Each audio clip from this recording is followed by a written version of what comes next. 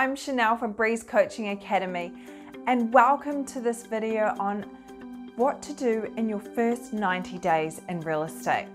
I get asked this question a lot and it's Chanelle, what do I do? I've just started. Where do I start? What activities do I focus on? And how can I make my very first sale fast? So there's a number of suggestions that I can make to you today.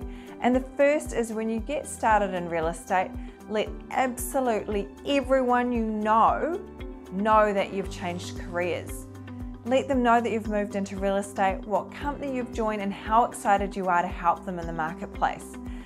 That means looking on your LinkedIn and updating your bio and profile there, looking at your social media connections, and messaging everyone directly because a lot of people send out a newsletter or a, a letter out to people, but in this day and age, that can cost a lot of money. Just by sending a message to everyone that you know and letting them know, make a post on your social media platforms and let them know you've changed careers. Also, update your bio on your Facebook page, your Instagram, link it to your website if you've created a website. The next thing I would do is find a coach or mentor or someone within your agency that can help you, that can role play with you, that can teach you the ropes, that will give you the training that you need. Because often we get thrown in the deep end. Here's a photocopier, we've got training once a week, and you're on your own. But often we need that, that hand holding and someone to just chat to about things and get that ball rolling. Practice your listing presentation. Structure it in such a way that it's so easy and you just practice and practice and practice in front of a video camera, in front of your colleagues, before you go out to the marketplace and start doing your own listings. The next thing I would be doing is shadowing the top agent in your office or in your area.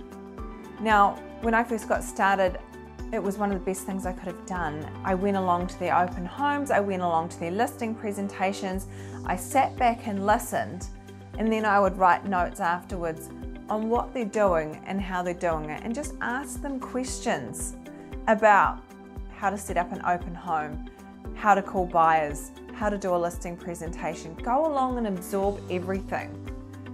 Attend trainings, attend everything you can possibly do within your organization and exterior training as well.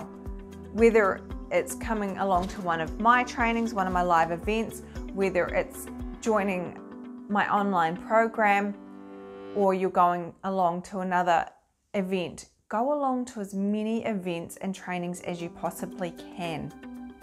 Because the more you train, the more you learn, and invest in yourself. And read books, listen to podcasts, do all of that juicy goodness. The next thing I would be doing is asking your agency if you can work with any buyers. And that means seeing if there's any open homes available that you can do open homes on behalf of another agent. That's how I got started when I first got started, another agent said, Hey, look, I'm going away this weekend. Can you look after my open homes? That gave me leads, buyers to work with and follow up on, and it gave me appraisals in the area. The next thing is private sales. Call any and all private sales that you can think of because the more you get out there, the more business you're going to get. Go along to their open homes, introduce yourself see if you can help them. The next thing is calling to let or rental properties. Believe it or not, this is so incredibly important and they are hot usually, unless they've just purchased, in which case it could be a referral to your property management. They that property could be sitting vacant and they would actually think of selling. So go and see if you can appraise their property and see what comes out of it. The next recommendation is joining networking groups. I can't tell you how valuable this is.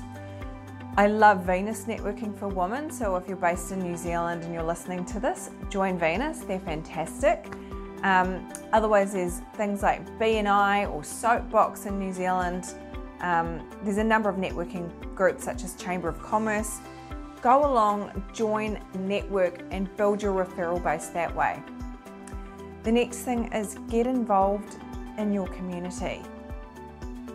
Get involved in the community events and see if you can host community events because your personal brand is your business.